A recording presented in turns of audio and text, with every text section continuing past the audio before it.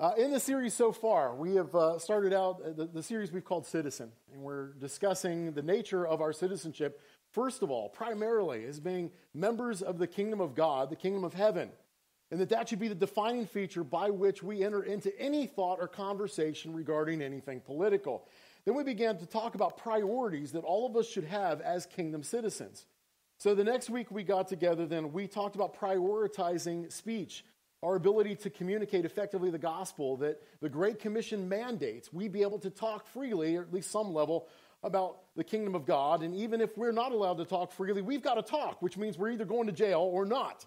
So prioritizing the freedom of speech is a big deal. Last week when we got together, we talked about prioritizing life and doing so by God's standards, not by human standards, not by the will of humankind. This week, we're going to be dealing again with the particular issue but I want to start by talking about dessert. Who doesn't like to talk about dessert? Who doesn't love dessert? Finishing a meal with something sweet, tossing all that sugary goodness into your mouth, it's one of the worst things we can do for our physical health. But perhaps we might argue the psychological ramifications of brownies and ice cream and cake are outweighing the cost to our physical bodies. Amen? In our household, you get dessert if you deserve dessert. You don't get dessert if you don't deserve dessert. Glucose for the godly, a big bowl of nothing for the naughty. Now, I found something interesting this past week. Sometimes I never, I never know where exactly my study is going to lead, but I was thinking of the idea of deserving dessert because I was thinking about the phrase just desserts. And what I discovered is deserving and dessert have a peculiar linguistic connection. They're the same word. They actually originate from the same Latin root, and then they've worked their way through the French language, des servir, which means worthy service or service worthy of an ending. So, an ending of worthy service. That's the idea. The notion of dessert is that we get something when the service is done or complete. We might call it the worthy service finale. And the idea of deserve is not really that different, right? Deserve is that which our service, our good service, or our actions are worthy of. Deserve. Dessert. Have you ever heard the phrase just dessert? Remember, like watching He Man as a kid and listening to He Man talk about Skeletor getting his just desserts and thinking, that sounds good. He, did, he got to skip the meal entirely, he got to have just dessert. What a wonderful thing. That's not actually what the term means. The term just in this instance is a, an abbreviation of justice. And the term dessert, as it is used there, is actually a spelling and derivation not of the term dessert as we have at the end of the meal, but of deserve. Just desserts is the justice you deserve. So when we talk about people getting their just desserts, that's what we're talking about. Now we're going to be in Romans chapter 13 today. Uh, that'll be kind of our primary text that we're going to be dealing with. And in Romans chapter 13, part of what Paul's going to do is he's going to describe the nature of just desserts. That ultimately, government exists to give people what they deserve, namely, the justice they deserve. That's what government is all about.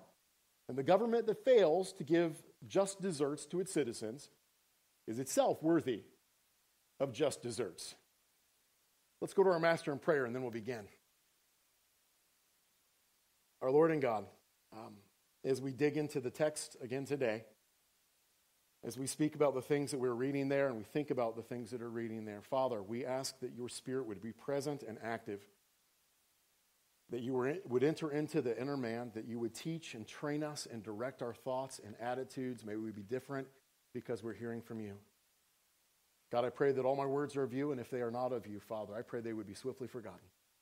We want to give you this time. We want to give you our mental efforts just now. It's in your most precious name we pray, by the blood of the Lamb that we pray these things. Amen. Now, hold your chapter in Romans chapter 13, and I want you to flip back to Deuteronomy chapter 32. So hold Romans 13, move back into the Old Testament to Deuteronomy chapter 32. We're going to start today by asking the question what is the role of government? Secondly, we're going to look at unjust justice. And thirdly, we're going to talk about righteous governance. What is the role of government? Politicians and promises. Politicians and promises. Those are two things that go together like nuts and gum.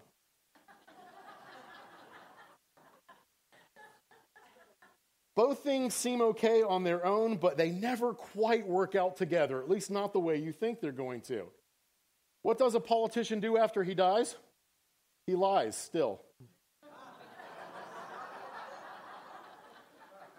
do you want another bad joke? Too bad you're getting one anyway. Why did the politician cross the road? Because he said he wouldn't. In our culture, the political promises made on a campaign trail are pretty much openly regarded as an opportunity for the candidate to paint an elaborate tapestry of imaginary utopian fluff. Pretending they'll do things they know full well they cannot do. A politician failing to deliver on his campaign promises isn't even newsworthy. Nobody thinks anything of it. The fact that they just blatantly lie about what they're going to accomplish. I like Pedro Sanchez from one of my favorite movies, Napoleon Dynamite, who, in running for class president, steps up before the student body and says, Vote for me, and all your wildest dreams will come true. Now, there's a campaign you can get behind. As absurd as those campaign promises tend to be, they actually tell us a great deal about what people think, what the voting populace thinks that government is intended for. They tell us about what people think a government is meant to bring them.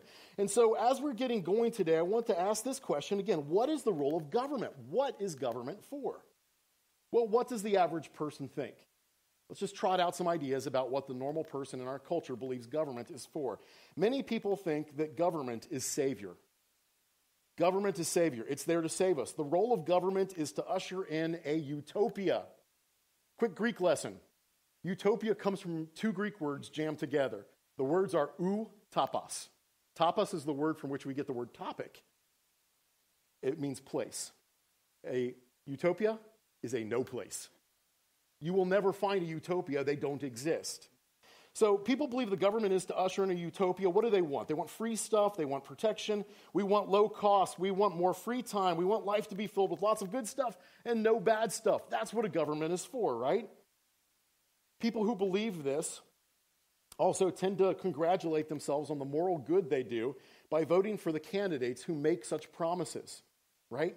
I'm a good person. Why? Because I voted for somebody who said they were going to do good things for, for people who are poorly off. Good people don't help people. Good people vote for a government that helps people. Have you noticed that mentality? Government is savior. Some people believe the government is a battleground, that the government is all about fighting for me. To listen to politicians, you'd think that every day they started out their day by putting in a mouth guard and boxing gloves and going out to throw punches. Have you ever heard a political ad that talked about fighting? I mean, pretty much every one of them does, right? Candidate X will fight for you. Fight for me? The implication is you're under attack, and candidate X will stand in front of you and defend you against everything that is coming against you. There are powerful forces bent on your destruction. Now, you might be thinking, that sounds about right. But why would that sound right? The reason is because we built in that hyperbole into everything we do in our government. It's always about fighting, it's always about a battleground. If you're thinking to yourself, well, what's the alternative? Uh, imagine this. Imagine reasonable people who carefully uh, refrain from hyperbolic language and behaviors. You know, like the rest of us have to do at work every day like we teach our children to do, right? Can you imagine a company that was built around fighting, where every employee showed up fighting with every, or a whole sector of other employees, and it was divided out that way? And yet, this is the way we tend to run our country. Government is savior, government is a battleground. How about this one? Government exists to do stuff. They create rules, they create bureaucracy. Have you ever seen the sitcom Parks and Rec? Parks and Rec, in their first season, developed a character that they expected to play the role of a certain villain. The character's name was Ron Swanson. He was a hyper libertarian who hated government. And it was thought that the interplay between he and the protagonist, Leslie Knope, would be sort of a funny way to engage in interesting political debate. What the producers didn't anticipate this, was that this character and his approach toward actively doing nothing in a government system became so incredibly popular that they had to make him a sort of hero in the, uh, in the series. Many people would really like government to just stop. Just stop doing what you're doing. People like to talk about how our elected officials never get anything done. The implication is they're sent there to do stuff. And then we like to complain, perhaps reasonably, because when they show up, the stuff they do makes everything worse. I'm a firm believer in the statement if it ain't broke, don't fix it.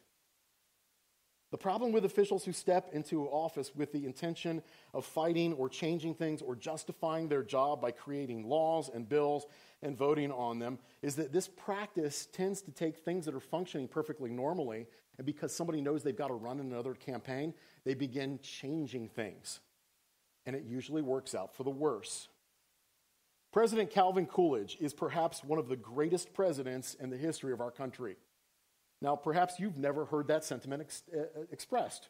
Calvin Coolidge, what did that guy do, you might be asking? And the answer is nothing. And it's what made him such a great president. Calvin Coolidge is uh, affectionately known as the great refrainer. He was a largely quiet man who was not a fan of government. Once he was approached by a Washington society lady, and she said, I bet my friends that um, I could get more than two words out of you. And he looked at her and he said, You lose. And then he walked away. Coolidge's presidency was marked out by his commitment to let things go on as they were. The nation prospered greatly by his dogged commitment to keep everyone from creating new laws and by actively endorsing getting rid of all the bad laws. Sometimes the very best thing you can do is nothing. Let me just say this as a life practice. Sometimes the very best thing you can do is nothing, and nothing is often much better than what our politicians do. Now, what is government for? We've said that many people believe government is savior. Some people believe that government is a battleground where there's supposed to be this continual fight happening. Governments exist to do stuff, create laws, and make more and more and more bureaucracy. This is what many people in our culture think, but what does God think? As we said at the front of this series, if God exists, and He does, then it doesn't matter what human beings think, doesn't matter what human beings believe. God is creator, God is king, God is the absolute authority, is the only entity fit to tell us what is objectively true about our circumstances. So, what does God say that government is intended for? God is just. Let's look at Deuteronomy 32. Did you know Moses was a singer? Moses is nearing the very end of his life, and here's a guy who is, he's an old, old, old man and he's led Israel for many years. And one of the last things he does is he composes a song for the Israelites to retain and for them to sing and for them to know so that they could retain some of this information about who God is. Deuteronomy chapter 32 is where this song is laid out. Let's look at Deuteronomy 32, verse 1 through 4. Give ear, O heavens, and let me speak, and let the earth hear the words of my mouth. Let my teaching drop as the rain, my speech distill as the dew, as the droplets on fresh grass, and as the showers on the herb. For I proclaim the name of the Lord, ascribe greatness to our God, the rock. His work is perfect, for all his ways are just. A God of faithfulness and without injustice, righteous and upright is he. Perfect justice is part of the nature of God.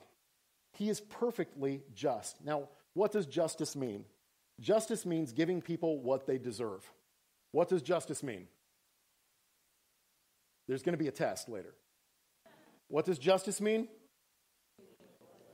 I want you to retain that for the rest of your life. Justice is giving to people what they deserve. Now, you might look around and think to yourself, well, if God is just, if God is perfectly just, then why isn't the Lord doing something about all of this?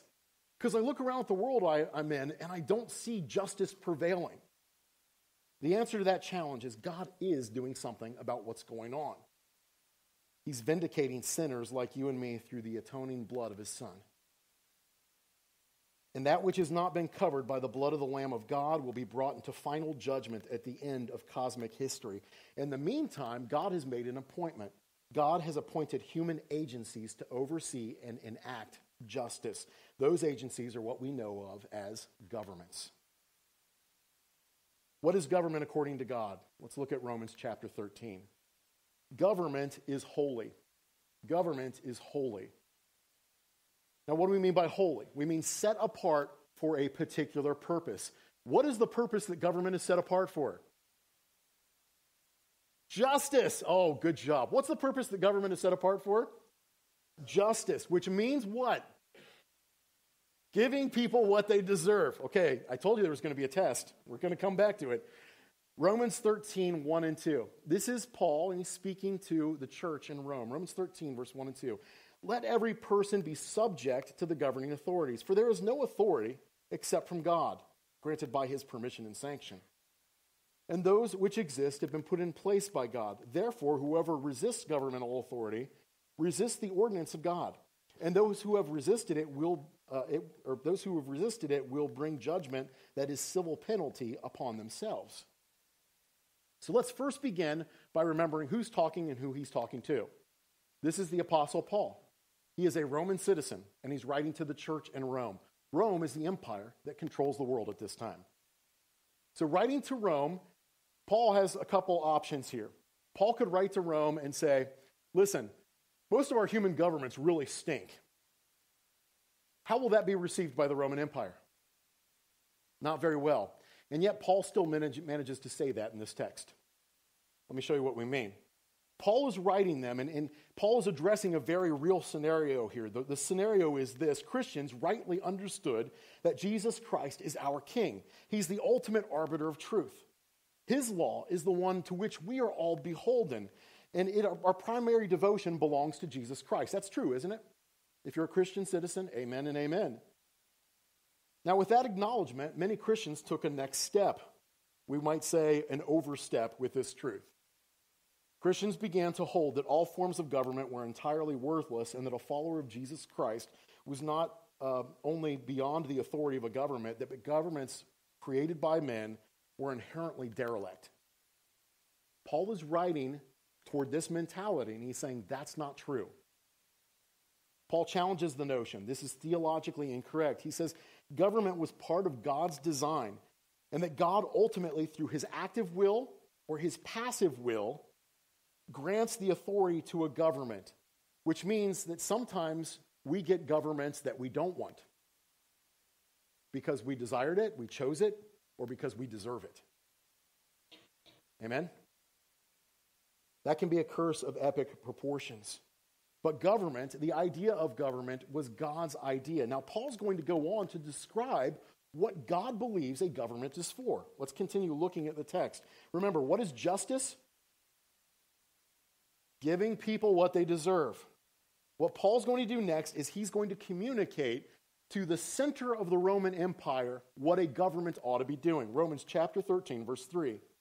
For civil authorities are not a source of fear for people of good behavior, but for those who do evil. Do you want to be unafraid of authority? Do what is good, and you will receive approval and commendation. So, what ought a government to do, according to Paul, as he's writing this to the church in Rome? It should cause the wicked to fear greatly. And it should allow the righteous to flourish, and not only allow, allow the righteous to flourish, but should grant them approval and commendation. Good people should be allowed to go on as if the government weren't there. Romans chapter 13, verse 4. For he, the government, is God's servant to you for good. But if you do wrong, you should be afraid, for he does not carry the executioner's sword for nothing. He is God's servant, an avenger who brings punishment on the wrongdoer. This speaks directly to the issue we brought up last night. A government is intended to punish harshly wickedness, particularly vile wickedness, the government should be implementing a death penalty for. It's described over and over again in Scripture. Okay, so what's Paul saying here? Paul's saying the optimal government, the government that's functioning according to God's standards, makes it its business to give people what they deserve either commendation or condemnation. You with me? How is our government doing at carrying out this task? Our world's governments are beginning to lean away from an idea of justice by God's standards to an idea of justice that is completely outside of God's standards. Let's talk about unjust justice. You go to Wikipedia and you type in a statement, social justice, or a topic, social justice, here's what you get Social justice is also a concept that some people use to describe the movement toward a socially just world. In this context, social justice is based on the concepts of human rights and equality and involves a greater degree of economic egalitarianism through progressive taxation, income redist- redistribution, or even property redistribution.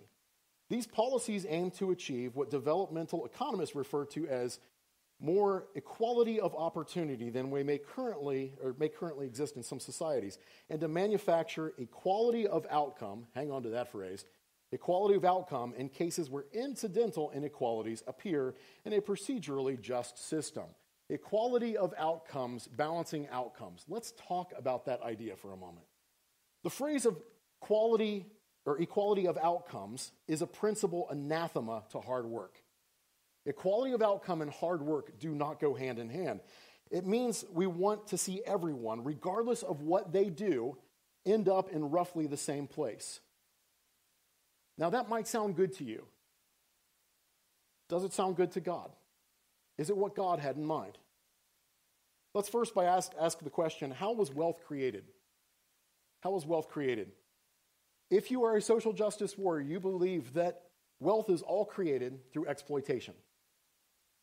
The world assumes that this is the case. If someone has money, if someone has the means of production, that person got it through victimization. Is that sometimes true? Yeah. Is it always true? No. Are there individuals who worked very hard and risked very much to earn what they have? Let's see what the scriptures say along these lines. Proverbs talks about it a lot. Bear with me as I just run through a quick litany of scriptures. Proverbs 12, verse 11.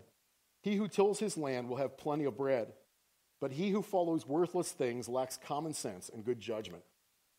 Proverbs 13:4. The soul, that is the appetite of the lazy person, craves and gets nothing, for lethargy overcomes ambition. But the soul, that is the appetite of the diligent, who works willingly, is rich and abundantly supplied. Proverbs 13:22. A good man leaves an inheritance to his children's children, and the wealth of the sinner is stored up for the hands of the righteous. Proverbs 21 20. There is precious treasure and oil in the house of the wise who prepare for the future, but a short sighted and foolish man swallows it up and wastes it. Proverbs 20, verse 4. The lazy man does not plow when the winter planting season arrives, so he begs at the next harvest and has nothing to reap. 1 Timothy 5, 8. If anyone fails to provide for his own, and especially for those of his family, he has denied the faith by disregarding its precepts and is worse than an unbeliever. Ephesians chapter 4, verse 28. The thief who has become a believer must no longer steal, but instead he must work hard, making an honest living, producing that which is good with his own hands, so that he will have something to share with those in need. Is there wealth that is earned through wickedness? Yes, absolutely. Sure, there is. Is all wealth, all property, all security, all beauty, all enjoyment earned through wickedness? Of course not. Now, let me ask you what does the Bible say about hard work? We just saw. Is hard work good? Should hard work be rewarded? Yes, it's described as part of the very nature or the very fabric of how God created this world. Proverbs 14, verse 23 says it this way In all labor there is profit, but mere talk leads only to poverty. Paul told the church, Work hard as if working for the Lord, recognizing that the labor you produce for your King, Jesus, reflects on him and his character. Paul advised Timothy regarding lazy people in the church that if any able bodied person is not willing to work, that we should not feed such a person. As a church, do not take care of such a person. Justice is when people are rewarded according to their efforts. Now, you might be thinking, what's so bad about a culture that doesn't honor and promote work by rewarding it, by rewarding the fruit of labor? Let me just try to express this with a metaphor, with a quick analogy. I want you to imagine that you're in a college course and you've studied very hard for your first exam. But after the first exam, you get your paper back, you got a 94%, feeling pretty good about yourself, right? The professor informs the class that he's very disappointed. While the median grade is right where he expected it to be, he notices that some people really excelled while others did very poorly. So the professor, being an enlightened academic of the social sciences, knows that it's not the fault of those students who did poorly. There were probably inequalities in the test that favored certain students over others, and what he needs is to see more equity. And so the professor says, We're going to handle class as socialists now. As a socialist, I will henceforth be dealing with everyone's grades accordingly. With each test, says the professor, I will take points earned by the highest achievers in class and redistribute them to those who earn the lowest grades. Question Will you work as hard on your next test? Okay. So, some people maybe study a little bit for the second exam. They throw a little bit of effort into it. The second exam arrives. Points are redistributed as the professor planned, but unsurprisingly, the median grade has gone down. So much so that half of the class is now failing. Ah, declares the professor. People are so upset by inequity that they're not studying. I know how to fix this. We're no longer going to deal with your grades. We're no longer going to deal with your grades as socialists, but as communists. Everyone will get the median grade from now on. This will ensure that everyone thinking with community values and desiring to uplift their fellow students will now work as hard as possible to ensure that the whole class benefits. Question for you Will you study for the next exam? No, absolutely not. And so the third exam yields results that are so bad that now everyone is failing. But it's okay because now we have an equality of outcome. It has been achieved. If you've ever looked around at the history of the world, if you looked around at countries right now that have communist ideologies, and you've noticed that people are barely making it by, and ask yourself, why is that the case? I mean, after all, they have access to all these resources. That's your answer right there. If you cannot enjoy the fruit of your labor, if you're working hard, but you're not seeing any result from your hard work, there's not much incentive to work hard. Is there a result from you working hard for the kingdom of God here and now? The scriptures are very clear that there is a level of reward based on what we're doing right now. Who, by the way, is very happy about level reward for the kingdom of God?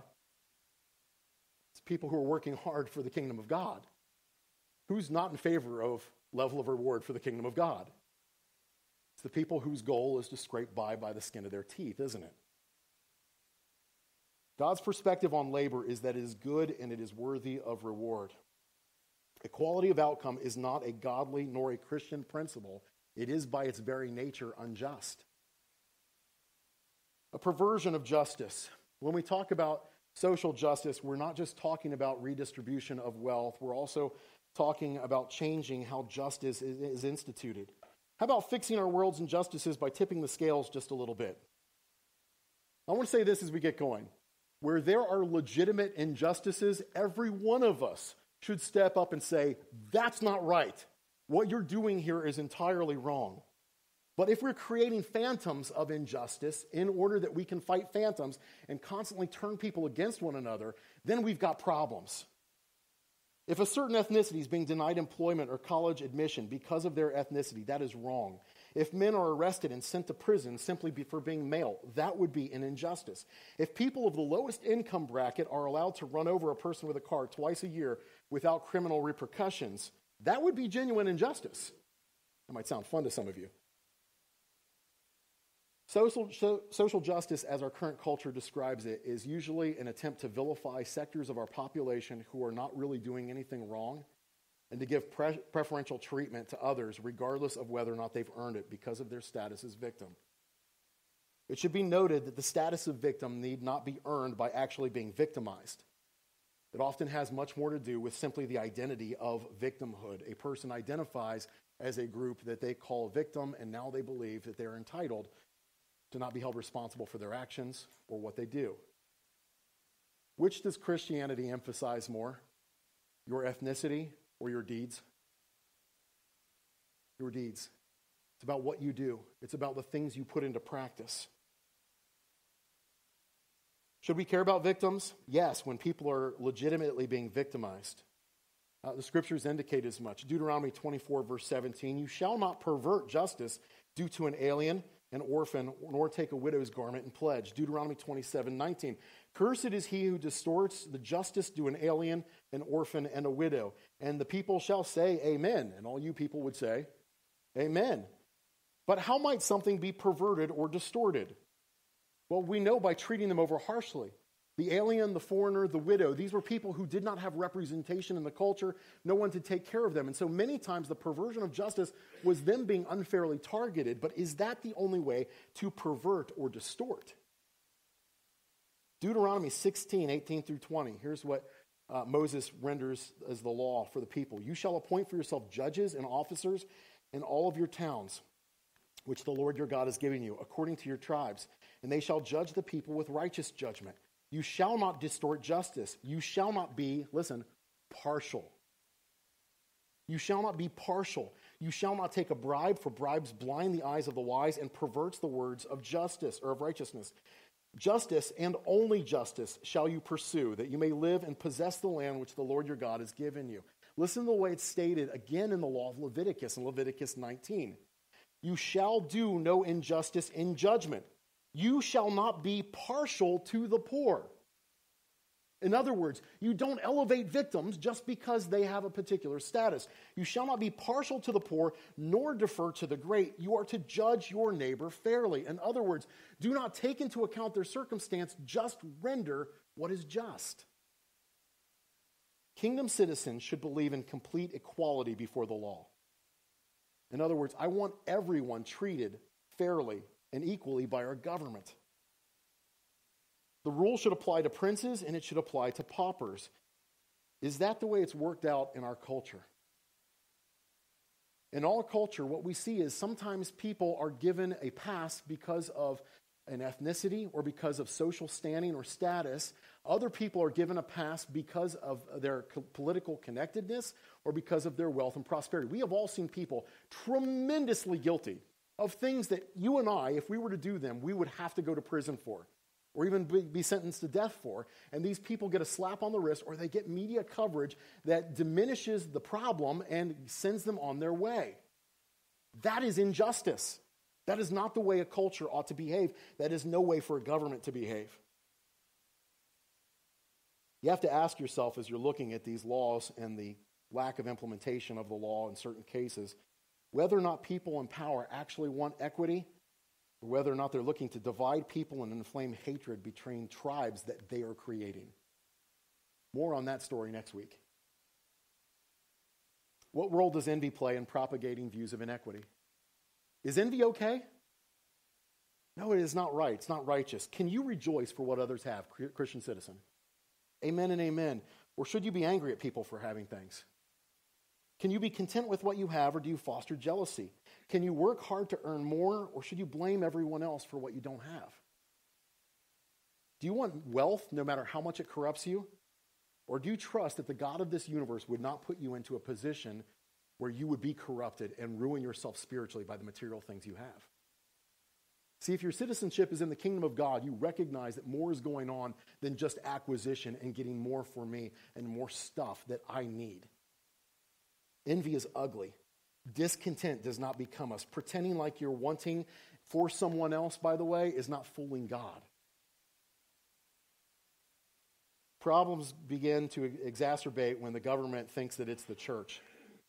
Before this next portion of the message, I want you to imagine this scenario. I want you to imagine a culture that has poverty and it has need. But within this culture, there are subcultures, there are places, pockets of a peculiar people who gather together to learn, to love one another. They worship God and they hold one another accountable for doing right. In these subcultures, wherever they meet, they take care of their own. These gatherings teach that your biggest problem is not financial poverty, but spiritual poverty. They want to help you take care of both things, but to be part of these little pocket organizations requires that you abide by rules and that you allow them to help direct your path away from harming yourself or harming others. Imagine in such a world how many people in the desperate situation of poverty would be driven directly into these gatherings that you and I know of as the church. Now, if you were an adversary, an intelligent adversary, you were staring down this predicament of all these people who would be driven into those little pocket groups, what would you do to keep the church from fixing broken people like that? My guess is you'd try to create another institution that took the role of the church in most people's lives so that people did not turn to the church for help, but people turned to the government. Will we ever fix poverty this side of eternity? Matthew chapter 26, 7 through 10. A woman came to him with an alabaster vial. This is Jesus. He's eating at a dinner party. A woman came to him with an alabaster vial of costly perfume, and she poured it over his head as he reclined at the table. But the disciples were indignant when they saw this, and they said, Why this waste? For this perfume might have been sold for a high price and the money given to the poor. But Jesus, aware of this, said to them, Why do you bother this woman? For she has done a good deed to me, for you will always have the poor with you. That's God talking. You will always have the poor with you, but you will not always have me. Now, this passage is really important because it tells us two things about the kingdom of God. Number one, it says that, that Jesus and his disciples concern themselves with the poor. This is why the disciples were like, we could have sold this and given money to the poor. So they were concerned with the poor. But this also tells us there are things more important than simply feeding people. But don't worry, the government will fix it. It's been quipped that one of the most terrifying phrases that could ever be uttered is, I'm from the government and I'm here to help. What's the problem with letting a government fix poverty? Well, the problem is how they choose to solve things. They choose groups to implement the help. One of the groups that they've chosen to help implement that help is Planned Parenthood. It's one of the biggest recipients of our efforts to help the poor. You don't like that? Tough luck. Washington decided that's how you were going to give, and that's where your money was going to be given. That's how it's going to happen. How do we fix poverty? Let's kill babies. And overwhelmingly, let's kill black babies, by the way. That's Planned Parenthood. Planned Parenthood is one of the most racist organizations in the history of the world. If you don't believe me, I would challenge you. Please look up the legacy of their founder, Margaret Sanger, and eugenics. In a letter to Clarence Gamble, uh, Dr. Clarence Gamble, she explicitly stated, and I quote, these are her words We don't want the word to go out that we want to exterminate the Negro population. Consider how Planned Parenthoods are located primarily in overwhelmingly black population centers. Margaret Sanger, by the way, spoke again and again. She had speaking engagements all the time at Ku Klux Klan meetings. There's your Planned Parenthood. Another problem is that many government solutions reward bad behavior. Welfare seems like a great idea on paper, but does it actually help get people out of poverty? It's broadly acknowledged that the well intentioned social program creates a culture of generational poverty where people don't work except at gaming the system. And it's not really the government's fault so much in that regard because governments really can't take care of issues like this. The church was made to take care of issues like this. Governments tend to throw money at problems. It's realistically about the only solution they're capable of most of the time. But what's the result of throwing money at dysfunctional lives? Does it tend to solve the underlying problem? What about the church? Is the church supposed to deal with poverty? Is working with the world's poor the church's responsibility? Let me be very political by saying yes and no. Yes and no. What do I mean by that? Let's start by talking about caring for the body. Now, you might find what I'm about to say next just to be a bit callous, but I would ask you to begin thinking about this as a citizen of the kingdom of God and hear what I'm about to say in that context. The church has to care for the physical needs of those inside it. Caring for the needs of those outside of the church is optional. I'll say it again. The church has to care for the physical needs of those inside it. Caring for the needs of those outside of the church is optional. Remember, you are first and foremost a kingdom citizen, and I want you, I want to ask you a question. If, the, if financial poverty is the worst thing that can happen to a person, is it? No. If we could give everyone on this planet food, shelter, and comfort, have we succeeded in fulfilling the Great Commission? No, we have not. Another question Would you personally prefer to have all your material needs met and be headed toward hell? Or to struggle with physical needs, be driven into the church, and be saved? The latter, right? God's intention for the church was that we could care for one another, not merely giving a handout, but helping people address the root problems of poverty. So that those outside of the church look at us, they see us resolving difficulties in human lives and say, I need to be part of a, a group like that. Listen carefully to the following verses. 1 John chapter 3 verse 17. And we're talking to the church here. But whoever has the world's goods and sees his brother, his brother in need and closes his heart against him, how does the love of God abide in him? In other words, we, church, are responsible for caring for the church. If you've got money, wealth, prosperity, then you, not through the government, but you have the responsibility to give and take care of other believers in the Lord Jesus Christ. Matthew chapter 25, 34 through 40. Then the king will say to those on his right, Come, you who are blessed by my Father, inherit the kingdom prepared for you from the foundation of the world. For I was hungry, and you gave me something to eat. I was thirsty, and you gave me something to drink. I was a stranger, and you invited me in. Naked, and you clothed me. I was sick, and you visited me. I was in prison, and you came to me. Then the righteous will answer him, Lord, when did we see you hungry and feed you, or thirsty and give you something to drink? And when did we see you a stranger and invite you in, or naked and clothe you? When did we see you sick or in prison and come to you? The king will answer and say to them, Truly I say to you, to the extent you did it to one of these brothers of mine. Who? The church, fellow believers. To the extent you did it to one of these brothers of mine, even the least of them, you did it to me. Who were the impoverished that the church cared for in the book of Acts? It was the church. Who did they take up collections for? It was the church.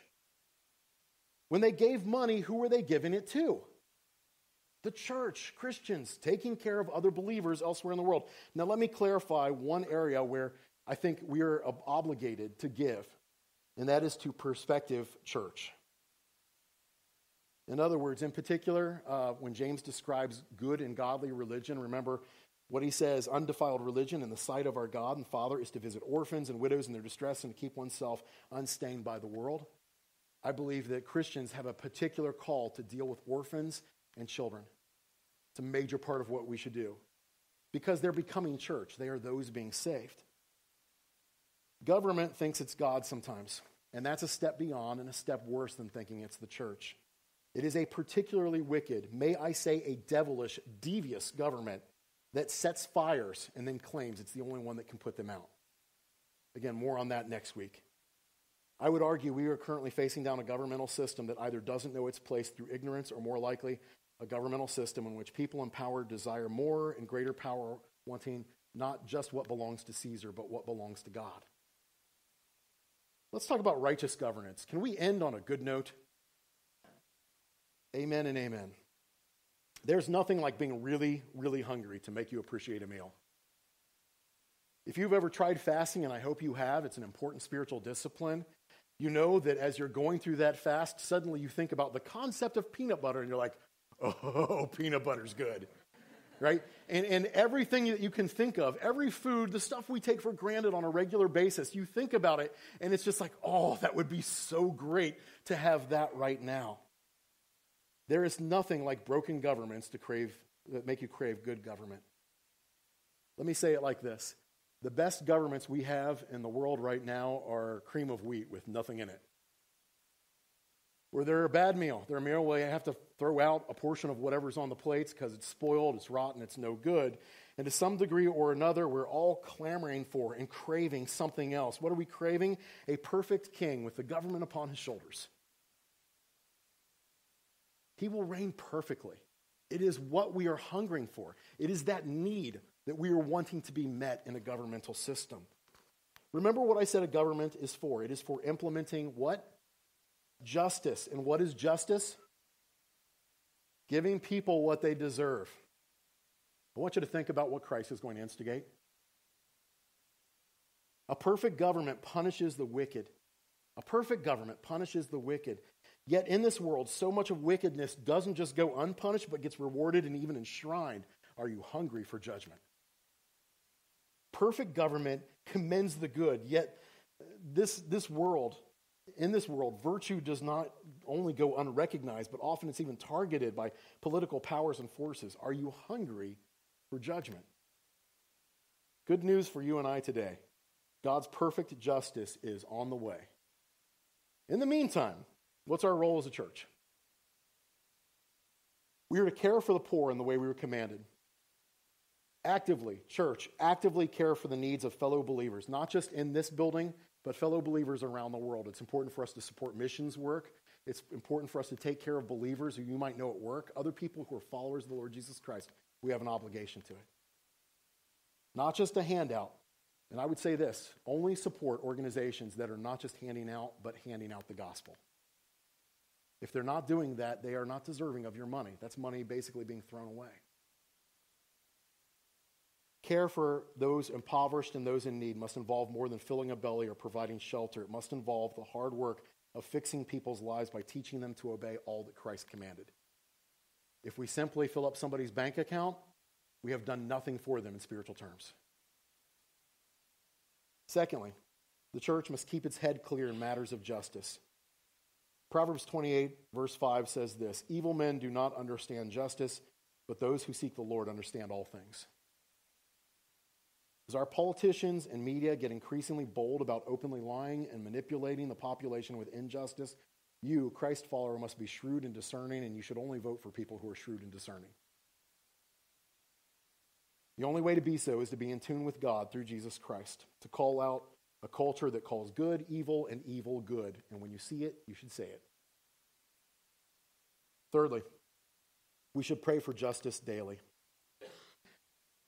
Are you like me? Do you get a little bit depressed sometimes when you see raging injustice in the world?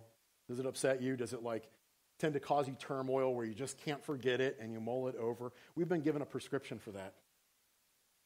Luke chapter 18, verse 7 and 8, Jesus tells this parable. He says, There's a widow, and uh, she goes to a judge for justice, and he's an unjust judge. He's not good. And she asks for justice, and he, he won't give it to her. And so she goes back to him again and just keeps going back to him over and over again. Give me justice. And he says, because of the petitioning, eventually this unjust judge is like, okay, fine. We'll deal with it this way. Luke chapter 18, verse 7 8, Jesus says, Now will not God bring about justice for his elect who cry out to him day and night? And will he delay over long for them? I tell you that he will bring about justice for them quickly. However, when the Son of Man comes, will he find faith on the earth? When you look around the world and you're like, this stinks, your first instinct, believer, should be to go to the Lord and go, this stinks. Would you bring about justice? Lord, I'm crying out to you right now. Our culture needs you. The church needs you. Come swiftly. Two things will happen. Firstly, our prayers will be answered with a yes.